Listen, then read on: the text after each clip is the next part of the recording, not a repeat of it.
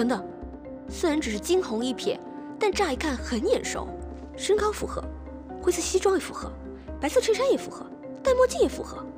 难道他就是我千辛万苦要找的人？没想到我好聪明，运气这么好，就是他了。哎，越看越觉得这个人好眼熟啊。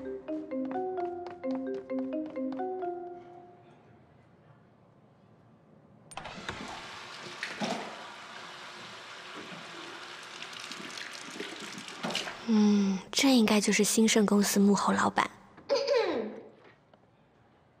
这位先生您好，嗯，我是美克拉美钻石商场的设计师，好聪明啊！你放心，我是绝对没有恶意的，我只是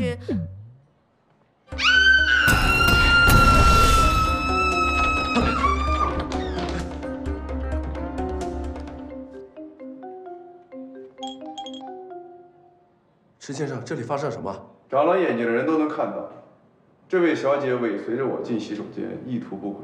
喂，你们会所的安保措施还真是……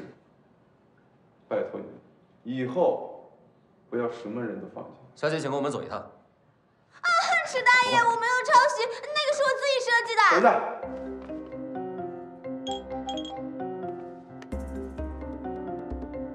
原来是你。看来你不只是个拜金女，还是个小偷。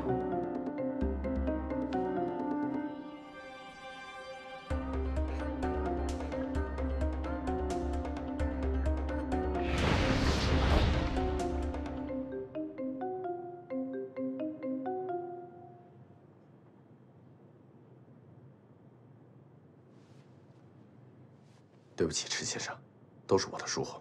这件事儿我们一定严肃处理。人穷不怕，怕的是穷人没有骨气，没有原则。我再说一遍，我不是小偷。你给我解释一下，这块表你是怎么拿到的？这块表是我男神送给我的。那么，请郝小姐打电话给那位男神，请他过来，证明你是清白的。啊，糟了！那天下午光顾着花痴，怎么就没有想到留个联系方式呢？